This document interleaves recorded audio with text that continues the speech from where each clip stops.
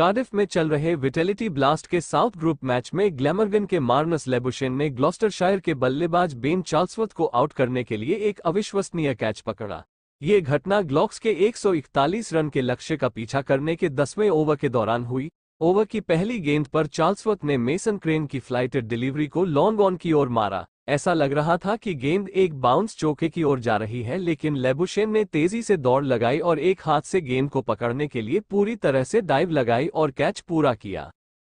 हर कोई हैरान रह गया और वीडियो जल्द ही सोशल मीडिया पर वायरल हो गया और कई लोगों ने इसे सदी का सर्वश्रेष्ठ कैच बताया। अगर आपको वीडियो पसंद आए तो कृपया लाइक शेयर और चैनल को सब्सक्राइब करें।